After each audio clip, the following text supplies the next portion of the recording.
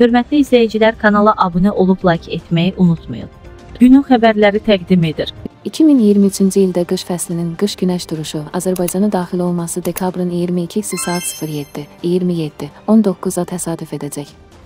Bizim media xəbər verir ki, bu barədə Bakı Dövlət Universitetinin Fizika Fakültəsinin Astrofizika kafedrasından verilən məlumatda bildirilib.